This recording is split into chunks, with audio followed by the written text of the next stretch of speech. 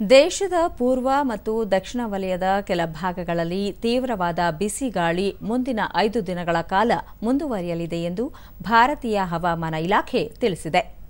ಒಡಿಶಾ, ಕರಾವಳಿ, ಪಶ್ಚಿಮ ಬಂಗಾಳದ ಕೆಲವು ಪ್ರಾಂತ್ಯ, ಸಿಕ್ಕಿಂ ಮತ್ತು ಕರ್ನಾಟಕದ ಒಳ ಪ್ರದೇಶಗಳಲ್ಲಿ ತೀವ್ರವಾದ ಬಿಸಿ ಗಾಳಿ ಉಂಟಾಗಲಿದೆ. ಬಿಹಾರ, ಜಾರ್ಖಂಡ್, ಆಂಧ್ರಪ್ರದೇಶದ ಕರಾವಳಿ, ತೆಲಂಗಾಣ ಮತ್ತು ಉತ್ತರ ಪ್ರದೇಶದ ಪೂರ್ವ ಭಾಗದಲ್ಲಿ ಸಾಮಾನ್ಯ ಬಿಸಿ ಗಾಳಿ ಕಂಡುಬರಲಿದೆ. ಮಧ್ಯ ಮತ್ತು ಪೂರ್ವ ಭಾರತದಲ್ಲಿ ಎರಡರಿಂದ ಮೂರು ಡಿಗ್ರಿಯಷ್ಟು ತಾಪಮಾನ ಏರಿಕೆಯಾಗಲಿದೆ.